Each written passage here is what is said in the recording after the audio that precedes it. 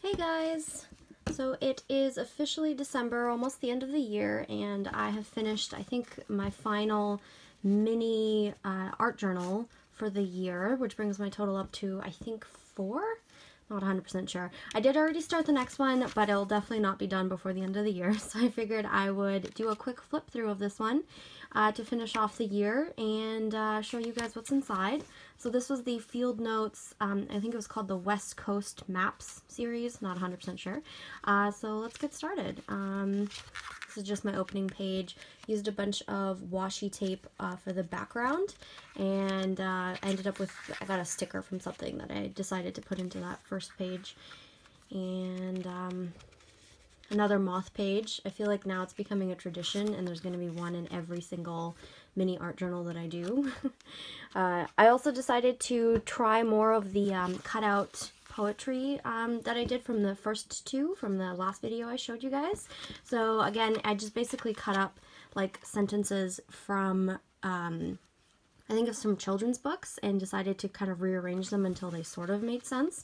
Uh, and even though it doesn't quite always make sense, it still kind of has the same feeling, which I kind of always really like. And you guys from the last video seem to enjoy that as well. So, um, here's another one.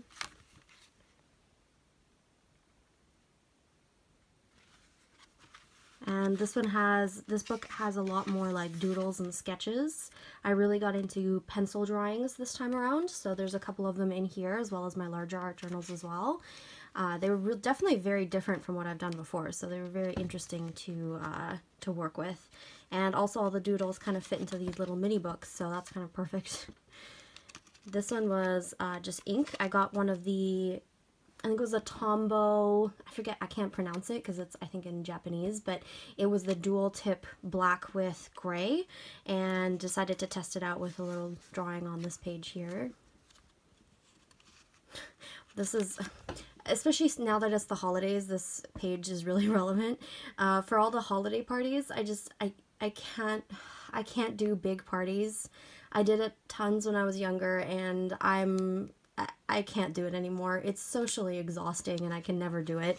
So whenever I have to host a party, which is very, very rare, um, I always just straight up tell people, you gotta be out of here by this time. I, I, I'm, I'm, it's, it's over at this point. So you gotta go, you know? Maybe I'm just very introverted. I'm definitely very introverted, actually. So, um, this one, I posted a picture of this when I finished this page um, on my Instagram stories, and a lot of people really liked it.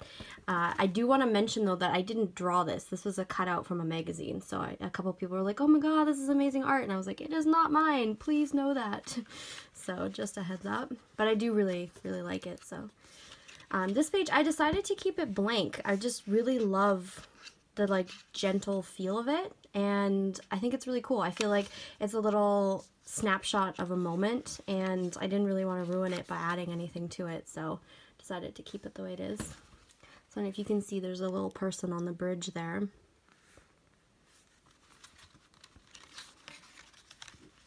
Here's another one of the pencil drawings and me. This is a quote by Trista Mateer, one of my favorite poets of all time.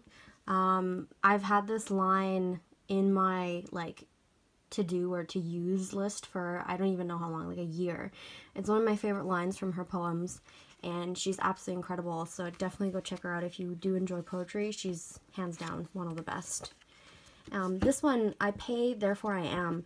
It was a quote that someone mentioned um, about the state of like essentially uh, consumerism and how your identity is based off of your purchasing and all that kind of thing and it it runs off of the um, i think therefore i am quote. Uh, and i just i loved it and it worked really well with what i had going on already so yeah. This one if you only knew deeply and thoughtfully how people don't sorry, I can't quite see it behind my camera, how people don't think so much about what you do wrong, you wouldn't be killing yourself for the pursuit of perfection, but rather healing yourself for the pursuit of progress. That one really, really kicked me right in the heart. it's, it's honestly, it's so true. So very, very true. This was a quote by Guillermo del Toro. Um, I think this was in his acceptance speech for, um, I think it was either the Golden Globe or the Oscar for his latest film. The Shape of Water. And I love him to death. He's the reason I got into art journaling from way back when. So I think it was kind of fitting. And I've also had it kind of sitting for a while. And super fun fact, this uh, was using the my latest typewriter, which I got from my coworker, and it's a German typewriter. So it was really fun to, to test it out, use it, and as you can see, it works really well. So really excellent condition.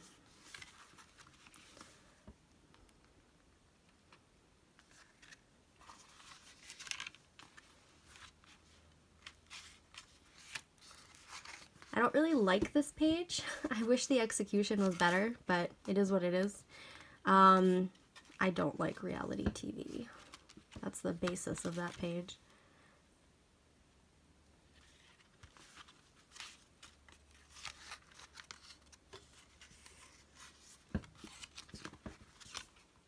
You can kind of see there's a person in the middle. Sort of ended up right, right on the seam, which I'm not really crazy about, but it is what it is.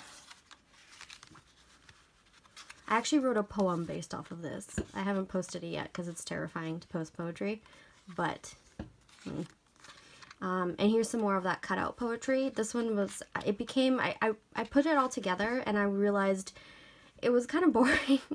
I became fascinated with the power of music. I mean, it almost sounds like it should be a sentence, so it doesn't really interest me as much. I don't know, but it, I still, you know, I still kind of like it. It's just, um, it's not quite as fun as my other ones with the cutout poetry. And this page, this was the last page in this mini journal. I've had, it, it's been sitting there on my desk to be like finished for I don't even know how long. I had this page and one other and I finished that one. And I sat there staring at this page for like, I don't know, seven minutes going, I have no idea what I want to put here.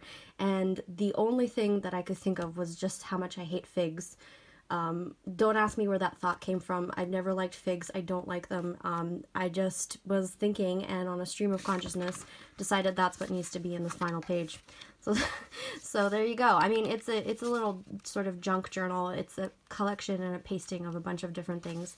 And as my other video, I basically used this for notes uh, before I kind of converted it into an art journal, and uh, and then turned it into that. So each page is pasted over, cut over, and you can see each page is super hard because of all the glue.